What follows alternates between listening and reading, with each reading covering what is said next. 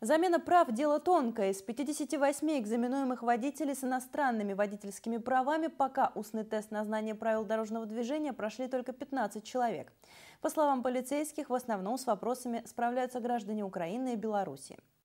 Компании-перевозчики своих водителей отправлять на переэкзаменовку не спешат.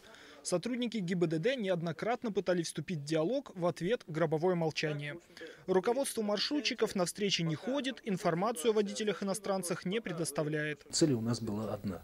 Значит, примерно изучить, сколько э, кандидатов э, на получение водительских национальных прав будут к нам обращаться.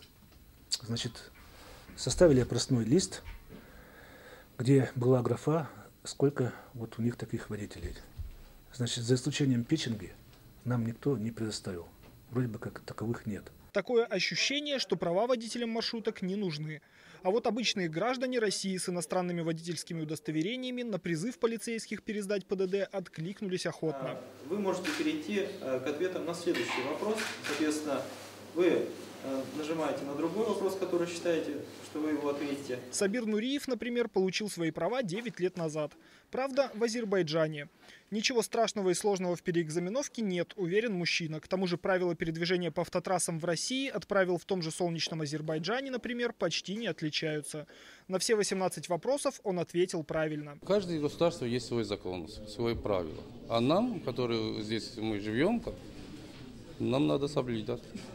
Раз это решили такое, так, значит это надо. Успешно прошедшие экзамен уже сегодня могут поменять свои старые водительские права. Те, кто не смогли ответить на вопросы, придут на пересдачу. А вот так и не соизволившие прислушаться к увещеваниям полицейских уже 5 ноября должны быть готовы к высоким штрафам. При этом наказывать будут не только самого водителя, но и компанию перевозчика, на которую он работает.